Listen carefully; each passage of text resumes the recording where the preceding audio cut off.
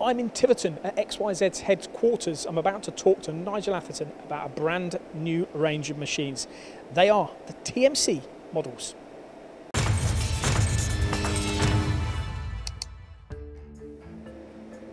So, Nigel, firstly, I'd like to find out um, why. Well, tell me what this TMC range is before why you launched it. Ah, the TMC stands for Tool Room Machining Centre. And basically, we've had ProtoTRAK since 1993. There's been several resolutions of it, and um, but they've all been open architecture bed mills and turret mills. But with the TMC, we've got an enclosed machine with a tool changer. Okay, so why would someone opt for one of these as opposed to what you would have classed as your previous ProtoTRAK models? Well, we're going to continue with the previous ProtoTRAK models because some people like that kind of machine. Uh, you can often put a bigger a bigger piece of material on the table than the, than you could in this equivalent size TMC. But the TMC gives you ability to contain coolant, contain chips.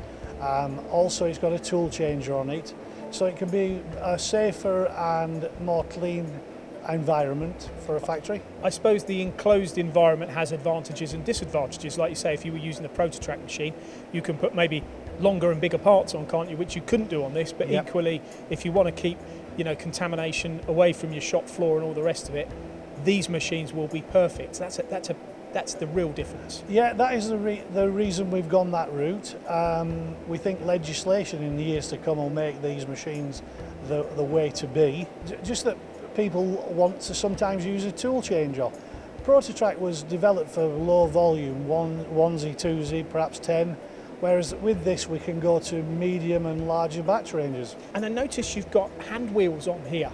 Um, I know it's obvious, but do you want to describe why they're there and what they well, purpose they serve? Well, we think that the people who are really going to be interested in this is the thousands of ProtoTRAK existing customers and they're using a machine and they've been used, they're using hand wheels and with this they'll be able to use hand wheels again. So they'll be able to treat it as though it was the bed mill that they had before and, and literally wind through either the X, Y or Z axes or they can track, which is where we, we put the program in, we wind the hand wheel and the, the, it runs through the job at the speed you wind the, the hand wheel. So if you reverse, the, the, the machine will reverse through the program.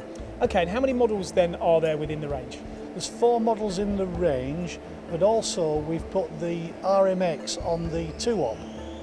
Okay, so what are the differences between the, mo the models? Can you maybe just give us a brief overview? Yeah, well basically we've had for a number of years now, in fact five years, we've had the LR range, which were our linear rail machines, They've been proven very, very popular. Um, we, we traditionally only had box way machines. We introduced the LR range, linear rail, and there's four models, and um, they've been really, really popular. We've sold hundreds of them, and um, we've taken that iron and put the, the ProtoTRAK control onto that iron. So it's well-proven iron, it's a well-proven control now. The RMX is three years old, and we've got uh, we've got options for the for customers. Okay, and, and, and what are the actual models labelled? Yeah, there's the uh, 500 TMC, the 750 TMC, the 1000 TMC, and the big one is the 1600 TMC. And the, the number depicts the x-axis travel. What about the 2-op? I believe that's included too. Yeah, well, we did have the two op, and it was a, becoming a very popular seller. And the idea is it's a second operation machine, but many people bought it thinking that they could do um, uh, because it had a tool change, the eight tools. They thought they could um, use it for production jobs, and we discontinued that because people didn't like the basic control that was on there. But now we've put the RMX control and it can do everything that a TMC can do and everything that a bed mill can do. Um, let's talk about this control then. Um, we've mentioned it, but we've not told people why they should be. It should be of interest to them. What is good about it? Well, the RMX is a control that's been around three years. It's the latest evolution of ProtoTRAK. Anybody who's used ProtoTRAK before will know how simple it is, and this control is just as simple. There's a few extra features that it can do now. The really nice thing is that it's touch screen. So it means that you can interrogate the screen easier, you can whiz through the program backwards and forwards. You can use the gesturing to explore the view and people who are used to using iPads and things like that, oh, it'll become second nature to them.